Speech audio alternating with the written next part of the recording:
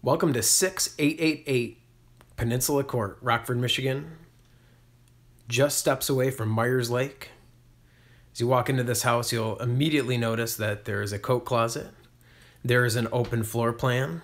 You walk right into the living room, eating area, and open kitchen with stainless steel appliances, access to your garage, pantry, and a stairway down to the finished basement.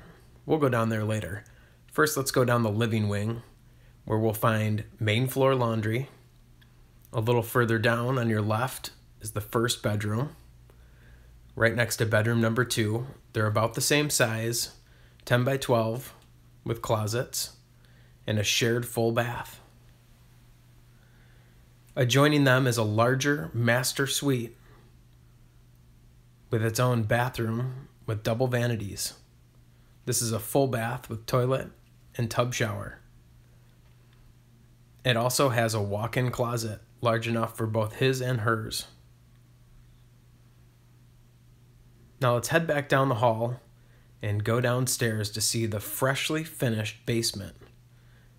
Adding almost 800 square feet to the finished square footage, you'll find a large walkout rec room with slider.